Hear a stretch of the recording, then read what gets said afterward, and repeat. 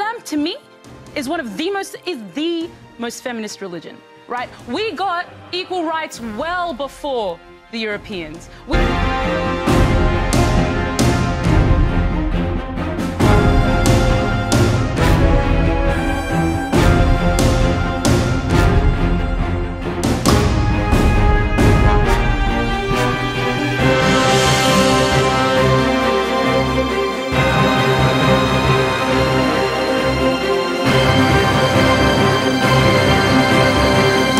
Yassmin Abdel Magied. I've mispronounced, but who cares?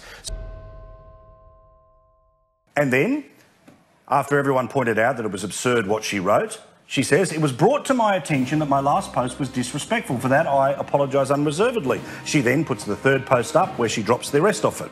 Well, Michael Smith, who is very good at finding things out on the internet, he's brought this to everyone's attention this evening. That, guess what?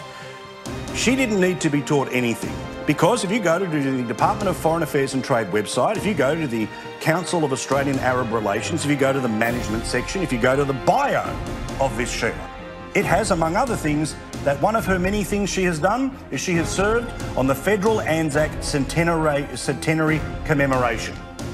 This didn't need to be brought to her attention. She was part of a committee that put the 100 year anniversary commemorations together.